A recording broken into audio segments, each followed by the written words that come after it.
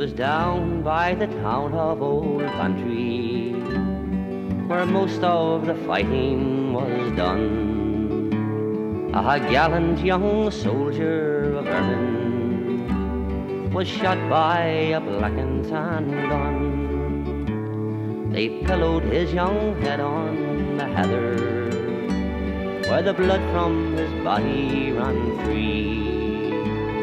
He smiled at all his comrades around him, and whispering to them said he, Won't you bury me here out on the mountain, near the spot where the battle was won, where we dealt the final blow for our country, from the scourge of the black and tan gun.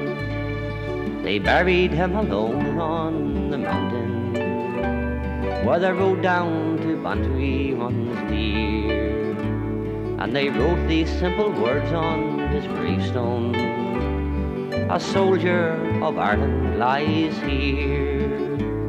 When you pray for all the heroes who've fallen Remember especially this one slain upon the first day of freedom by the very last black and tan gun.